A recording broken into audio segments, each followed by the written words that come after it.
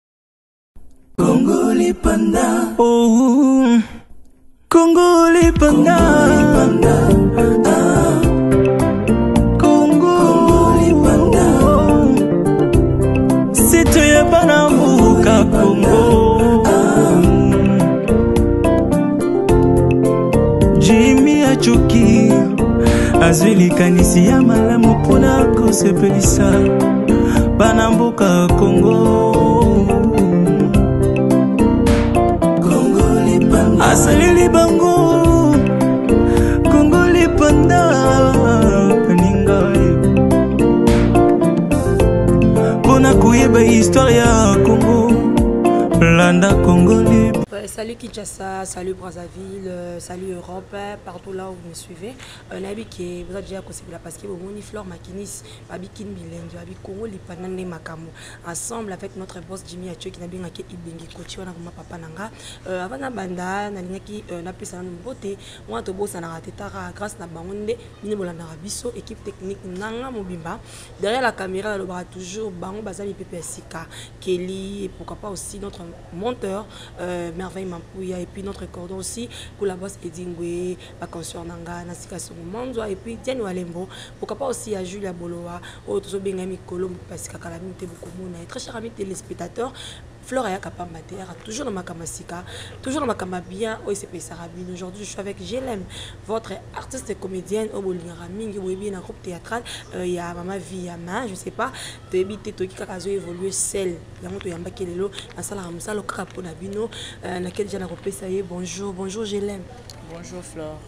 Boni. Mon bien na ngolo nzambe.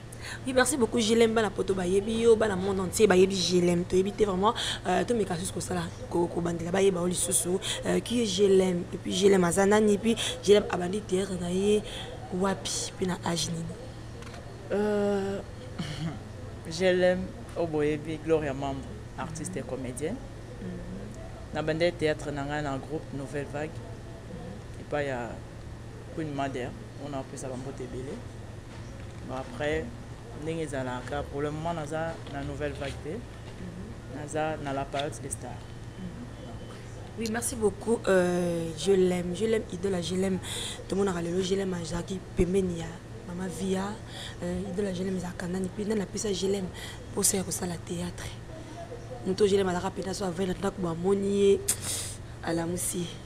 ezalaki nani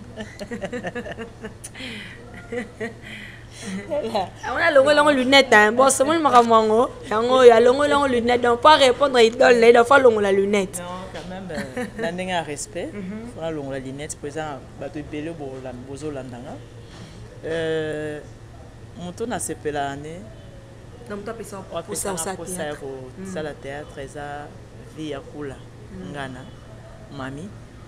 oyo azalaki mama presidente na nga ye nde nasepela donc ye nde na ndo sepela nde façon ya kojoue na ye nga nalobaka ke te nga mpenza ntina kokota na mosala oyo mm. na nde mpe naye kokota merci beaucoup euh, je lem kobanda kosala théâtre ezalaki mpe facile na famille mpe baparent parce que ebele bazalaka soki hey, eh, théâtre azomona oka mosala moko ya ntina te est ce que mpo na yo vraimen ezalaka facile mpo na kosala mosala yango ti lola ndenge okomi boye Euh, so na bosani te papa na nga avant akufa mm. na famille famille bato baza ebele hein. Mm -hmm. moto encourage ezaka papa na nga mm -hmm. parce que ye moto ayebisa nga bi ah gloria ye anobengaka mama gloria parce que mokolo moko te papa abenga nga na nkombo apamba mm -hmm. ma gloria mosala oyo obandi komisa yango na suka parce que eza mosala obanda oloba ntango oza mwana moto yango sero ezalaka basine mm. keye bokoti sine boota filme nde a rappeler nga bi obanda oloba ke yo pe okokota kaka osala nde bazo sala nga ah, nga na tuni ye ka annee passee 2016 avant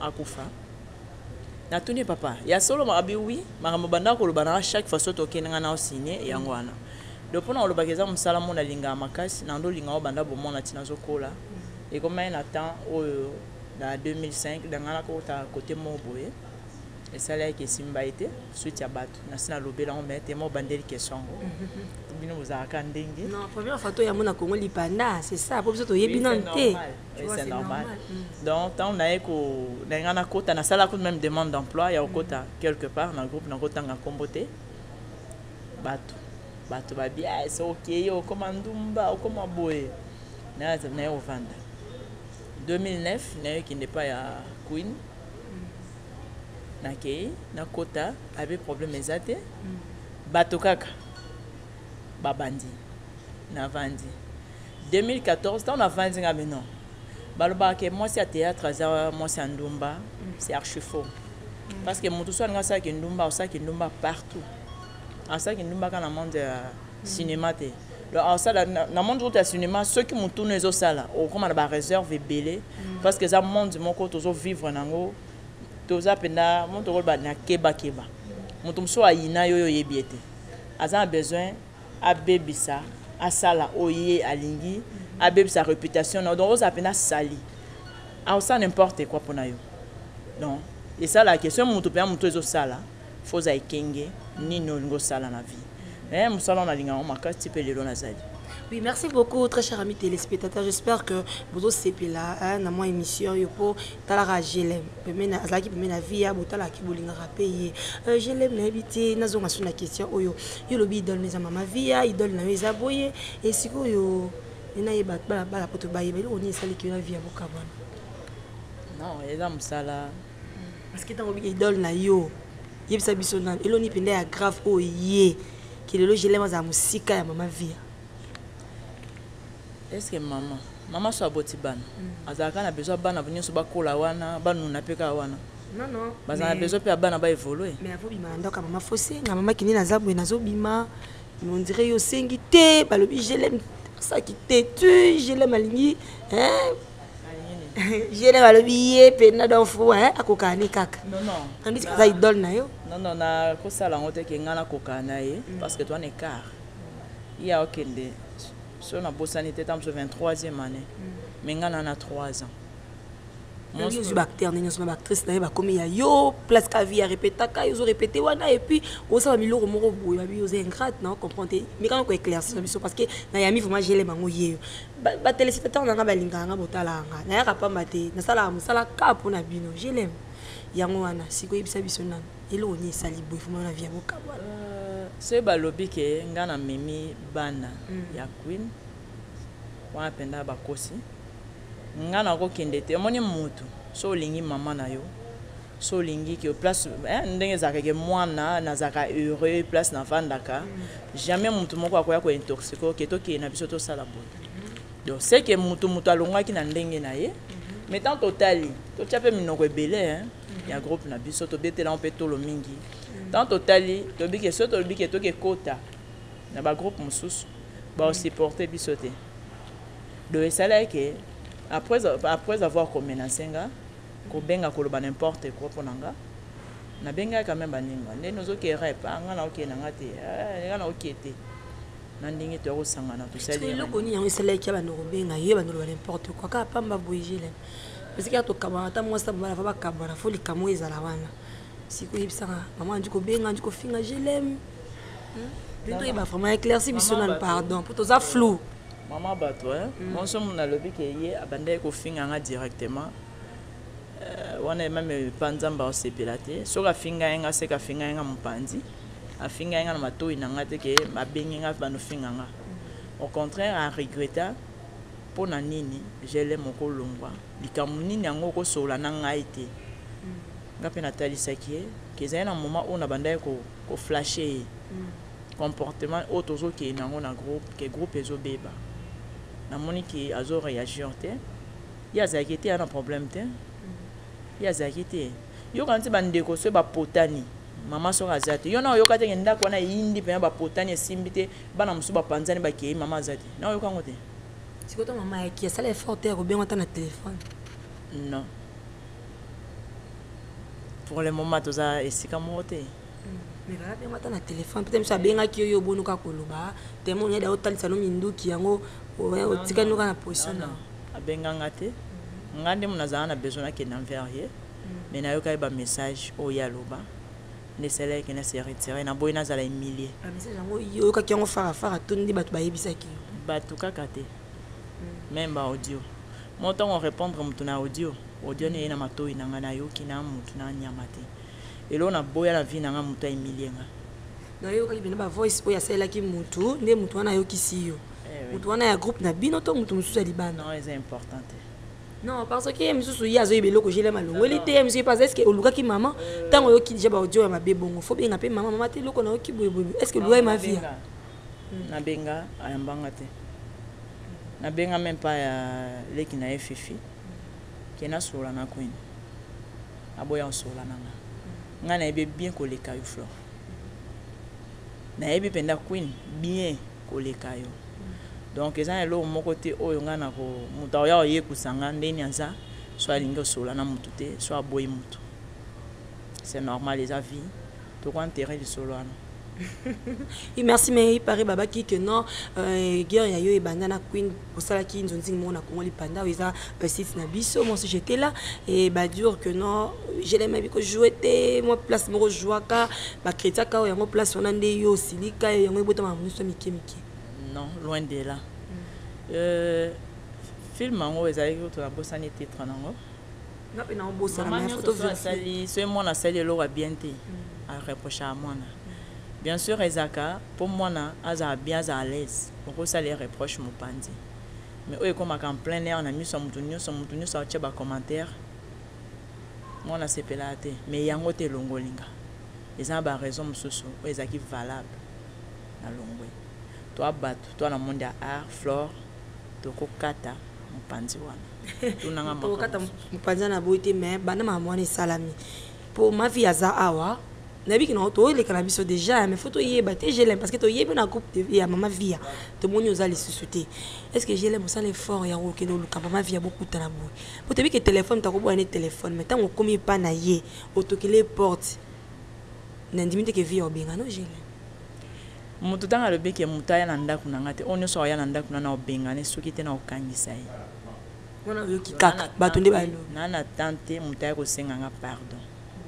Koluka te oyeba mozindo te. Toi na television hein. Non biso il faut olobaka verite. Ma bo ba artiste non maman ngo esalamaka kaka. Nga na lobi par rapport ya oyo na yebi. Verite oyo na yebi. Ngambo na zali na souci parce que ngambo na salaki ndenge ba loba mabe mais to mona pe batu mosusu ba longua longua.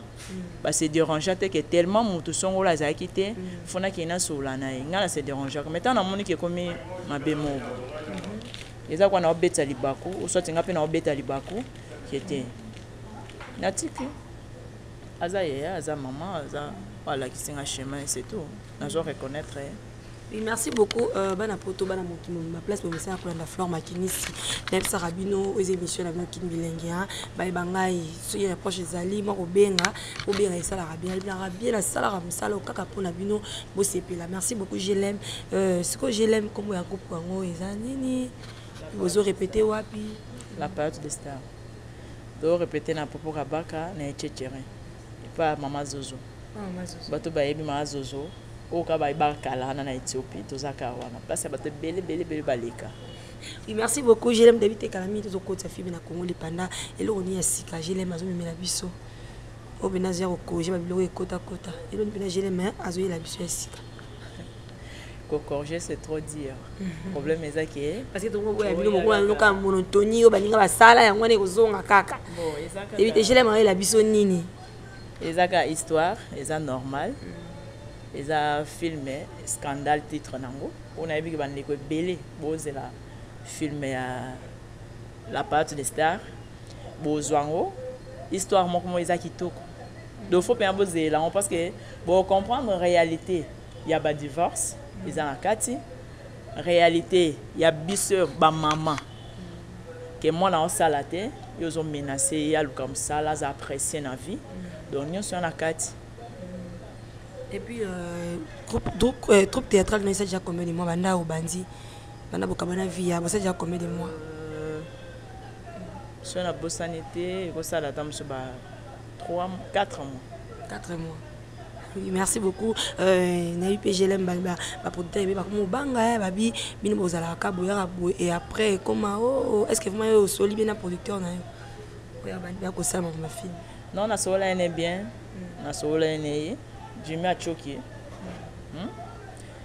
tosi tosololaki tosololaki nyonso ndenge ezalaka tozo evolue ekoma lobi yo ezalaki boye te ezalaki boye te bakomi mpe kobanga bino e babi bino hmm, moyen te ye ayebi hmm.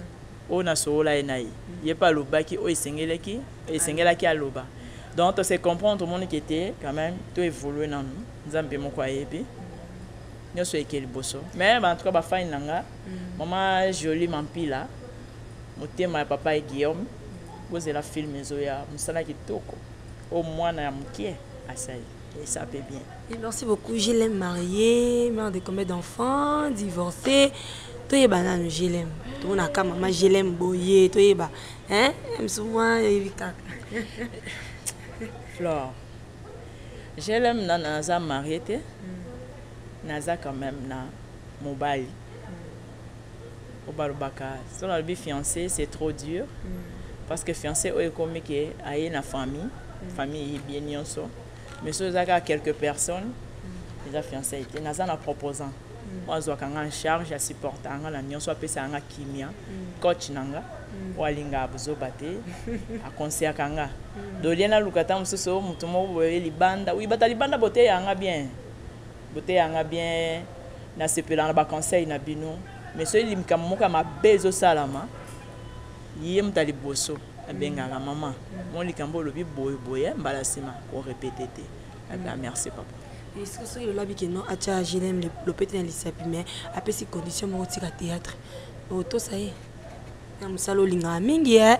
ntango naloba parceke nayebi nayo sentir ke ya mosala vraimen olingaka kelelo ati yo mpenza pete ya mosapa alobi gelame nalingi lisu théâtre te réaction des années non problème eza fo otalisa motu moi neti nakopesa exemple moko ya mama marie hélène alors moi sa pasteur hein, mm. parce que oyoka ye déjà na buzoba non parce que azo dia marie hélène na théâtre azali na tete puis bazalaki groupe bazalaki bandimi na ye oui bazalaki bandimi na ye baleki kosamba na église na ye tu vois akutaki ye bongo me azalaki mpe na kati église sikoyo yo na ye mm. nga te mwana wa mondimi na ye te mm. ye aza pasteur te ah. eza problème ya koconvaincre moto bonsoir boys non non problème eza nini akoboya soki amoni nga na bazigzag mobali nyonso so amoni mwasi na ye oyo alingaka ke abanda okende mopanzi mopanzi atelemelaka ye mais so amoni ke aza nde na nzela ke te azalaka na mobali na ye moko ka ye wana ye moko amiyebi ke te naza nga moko naza sur na mwasi na nga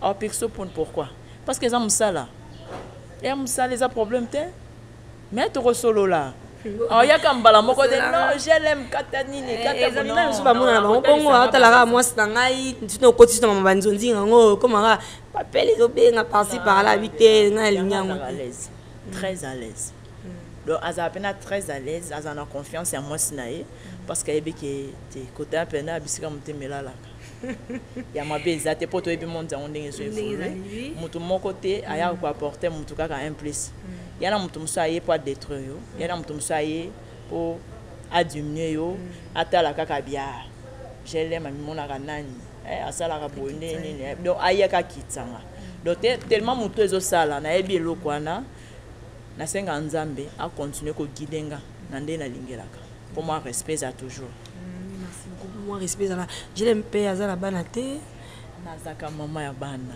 mm. na na bana euh, naza déjà na jeune fille na na trois filles na na mwa mobali te na na bana nanga misato mm-hmm. ya basi mm. donc na mama bana mais papa kala mingi te azoya déjà bana bazaka mais papa makolo eza nzela oui merci beaucoup j'espère que bosepeli mingi loko ma bana okenda je l'aime mosika te mpo mama kosala eza mwa mingi mais akozonga lisusu euh, je l'aime à part théâtre lelo soki théâtre eza lisusu nde bozolingi ezalela te je l'aime abulanga sa mosani à part théâtre nasalaka déjà na débrouillard déjà hmm, osala no mwa commerce oyebi réalité yango nde eza hmm. so otingami kaka na théâtre Bafingo kaka pona kozela mbongo ya mabanga omona pena ke te ya na mutu moko obwakaki ayebisa ah, mama na otindela mbongo boye atindi te tellement yo espoir no eza kaka mbongo wana bazotindela yo mm. ai ah, so batindeli nga mpenza na kezando nasali soki nini nazongisi boye donc okoya pike crise pamba donc na vie fo oyeba koluka eza kaka na théâtre te mais mwasi nyonso fo oyeba koluka koyeba kodebrouille esunga biso tokende liboso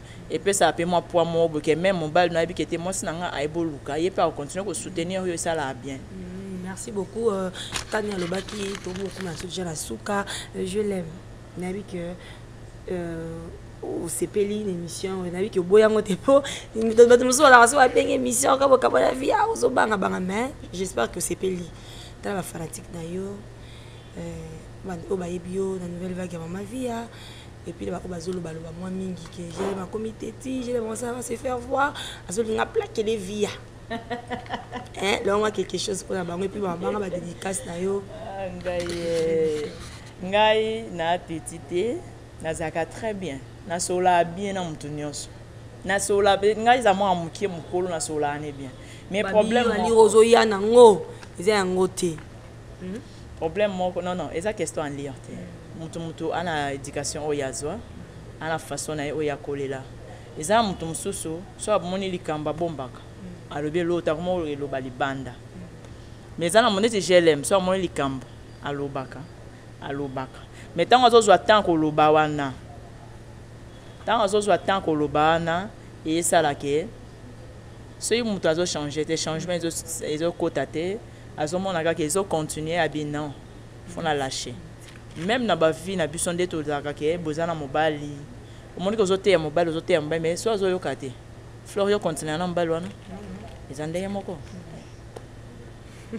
Et merci beaucoup, je l'aime très bien, téléspectateurs, nayo, euh, mon mabanga, ba dédicace pour ton nouvelle, hein, bonne année. Tu continues boula sika 2018, bye bye, vraiment. Euh na pesi ba bonne annee ebele po ba ndeko na nga nionso famille situ famille mambo oyo eza ya nanu ya bana na ngai na pesi bino ba mbote ebele chancel vie na pesi ba mbote ebele euh glovi mervedi oyo baza na bana na misato na tangi mm. na linga bango mpe na mingi na pesi ba petite sœur ronde baza na ndako ba mbote ebele aisha na pesi yo ba mbote ebele ba Bonne annee nzambe aleka na kobatela bino alpha, vrija, Esther, mambu donc bino nionso nalingaka bino mingi. Pina na camarade mona Suisse euh, elle s'appelle Sevine ya Imondo Ava abi flona ninga GLM mingi so yambi GLM apianga ta ba bonne année comme ne Sevine Ava abi atanga ka kombo na nga Sevine Ava. Sevite Ava. Sevine Ava. Sevine. Sevine. Hein? Hein? Sevine, Sevine Ava. Na peso ba bonne année nga pe na mm. lingi yo mingi ata na yebi yo te mais yo yebi nga. Mm-hmm. Donc na linga ko mingi. Mm. Nzamba leka obatela yo. Ah. ah donc apesa yo oyo motema no elingi 2018 eza mpo na moto nyonso Oui, merci beaucoup.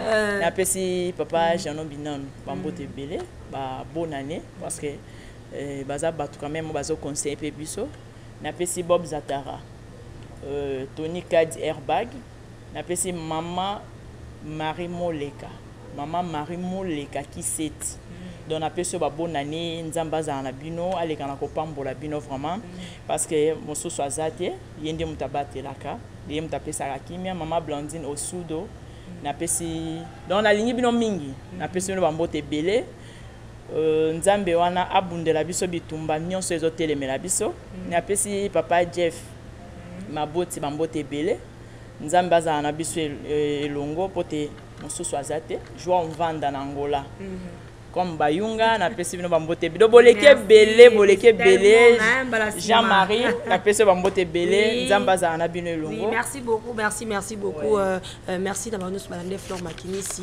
abikala mingi te deux ans ya marie misamu deux ans ya marie misamu baactivité ekozala wana vraiment na tata raphael awa euh, en tout cas nalingaka bino mingi bino boza ya nganga mpe naza ya bino soki bareproche eza bokomaka ekosala bien merci beaucoup na bato nyonso balande ngai flore makinisi kini bilengi babi kongo lipanda nde makambo euh, bambote boye osisi na nabosani te patricia mokango depuis allemagne wana vraiment aza ndeko na nga nabosanaka ye te sevin mondo ya hein, sevin mondo zulu eh, avant en tout cas de gros bisous à toi ma chérie nazwaki eloko wana esali nga bien euh, lux pereira aristote kitambala et pourquoi pas aussi à ma sœur chérie mireille wasa sans oublier phoenix kabasele en tout cas de gros bisous à toi napesi bino situmbo ete kolinga flore makinisi ekipe tekniki na ngai bazalaki na ngai wana mpe nabosanaka te e aussi ya mobos jimi ya coki nabengaka ibenge coach wana mpe na papa na ngai tuka de gros bisous à vous nalingaka bino mingi babonane babonane babonane tokutani mbala ya nsima baye Congo lipanda oh.